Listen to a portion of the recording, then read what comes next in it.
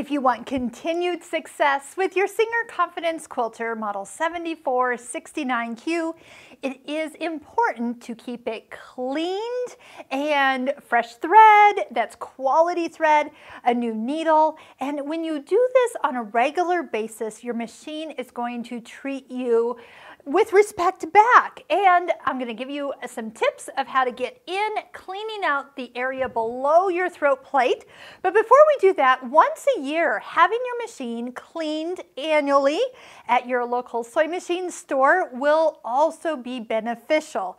There's so many things that you and I can't reach, nor are we supposed to reach, um, that is happening behind all those covers, but they will be able to go in, do any adjustments, clean and oil all those moving parts. Believe me, there's a lot more than you realize inside a sewing machine. So what I'm going to show you is something that I recommend to my students to do every three to five bobbins. So if you're having any trouble right now and you're like, do I need to clean this machine and it's been a while, you're probably going to be a little surprised of what you're going to find underneath the throat plate. So what's going to happen is, is that lint and dust from your fabric is going to get pulled down below. So when we open this up, if there's a lot of lint, that's what we need to clean out. So fabrics that are linty are going to be things like cotton fabrics, fleece, flannel, even felt. How about that wonderful new Minky and Cuddle fabrics that's practically like faux fur? That's going to really get down in your machine and bog things down, make skip stitches, make thread break when it's not supposed to. Those are all things that lend you to needing to clean this machine on a regular basis. So all you need to pull out from your accessories is your brush, which is on the opposite end of your seam ripper, by the way. So bring out a brush, and then this is actually a screwdriver that's nice and short, and those are going to help loosen the screws that are holding that throat plate in place. Now here's another little trick that I like to show. So I'm going to take my scissors and cut the thread at the tops of the spool and pull it out my needle. So instead of taking that spool off and dragging any lint that might be at your needle up through your machine and into it forever and ever until it's cleaned, that's going to also not be good. So if you can clip and pull out, that will be ideal. Let's go ahead and take out our bobbin. And just so we don't stab ourselves, I'm going to go ahead and remove the needle. And if you haven't changed your needle in a long time, let's just go ahead and get rid of this needle and plan to put a fresh one in when we're done. So there's only two things that we're actually going to remove from the machine. So they've made it very easy for things to be cleaned, and that's what part you need to play in making sure your machine is running smoothly. Notice once I get these loose, I can just kind of give them a little twirl with my fingers and set the two screws aside. You can also take off the presser foot, just the little tap on the back foot will be fine. That just kind of gives you a little bit more room and then go ahead and lift this plate off next. The last thing that we're going to take out is actually the bobbin case. That's this entire black unit that sits kind of in this basket hook area and I'm going to just set it to the side. Now I haven't done a lot of stitching so we do find that it's fairly clean but if you've been sewing or even stitching through batting, cotton batting will be another culprit and a lot of lint is going to gather in this area. First thing not to do, do not blow in this machine and do not use canned air.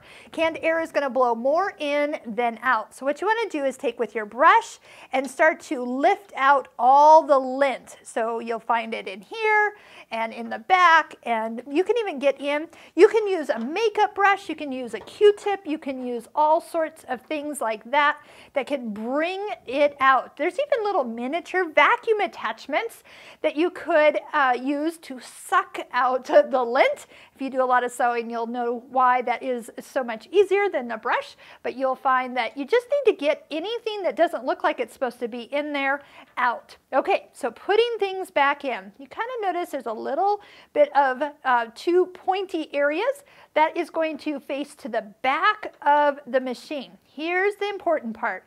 See this little black heel? it is bouncing up against that spring. Make sure that those two are touching each other. Now there's going to be a little wiggle, that's fine. What you don't want to do is not notice that that's there and get this in sideways. So really once it sits kind of down in the, the flush area and kind of can bounce up against that spring, it is in there correctly and you can finish by placing the throat plate back in place, tightening up the screws just so they're easy to get in and out for next time. Uh, the last thing I am going to do is actually put my needle in. I'll show you why. But go ahead and get all these pieces back together. We're going to put our bobbin back in. We're going to put our presser foot back on. Uh, make sure you tighten this up so they don't uh, wiggle loose. They don't have to be super tight, but just in there just enough. And then rethread the top of your machine. So here's our bobbin. Remember, we're bringing it all the way down to about 6 o'clock. Let it fall in this little groove hold it, click it over to the side, and then follow the little path over the corner until you reach the back, which has the little cutter, and then pull towards you.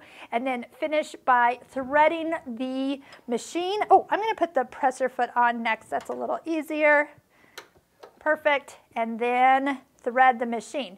Now, why did I tell you to put the uh, needle in last. If you put the needle in last, the foot is on, and it's really easy to then lower it down into the space and brings it right up to where the opening is for where to bring that needle all the way up to the highest position. Now, how do you know if you've got that needle to the highest position? You can utilize your needle threader to check. So if your needle threader lines up with your needle when you go to use it, you know your needle is correctly positioned. So I have my machine threaded. The last thing to do is put the little door in place. And let's go ahead and do a quick little stitching and make sure everything is back together correctly. It's probably going to sound a little bit better. And again, if you've put that new needle in, you'll definitely have better results. So do that every three to five bobbins that you've gone through. And once a year, take your machine in to your local sewing machine service department. Any sewing machine store in your area would be qualified to service this machine and give it its annual cleaning. If you do this other part on a regular basis, trust me, this machine will treat you well and you'll be best friends forever. Check out all of our videos on the Singer Confidence Quilter 7469Q. There's links below this YouTube video. And if this has been helpful for you, remember give it a thumbs up and subscribe to our YouTube channel.